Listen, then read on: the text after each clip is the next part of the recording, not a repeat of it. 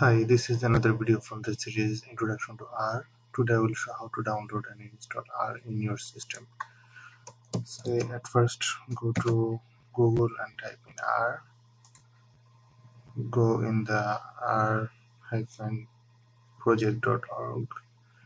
Go to CRAN. Select any server close to you.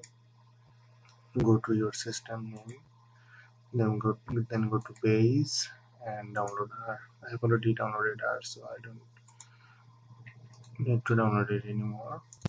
Then select the downloaded file choose your preferred language and preferred folder then select what type of installation you need I just need the user installation I accept the defaults and so on so it doesn't really take a long time to install R in your system. So almost done.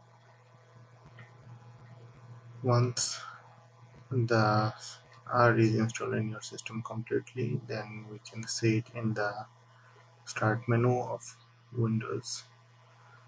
So we can see here a lot of files are being installed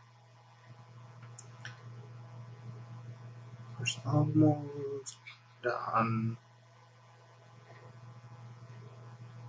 Yep it's completely done.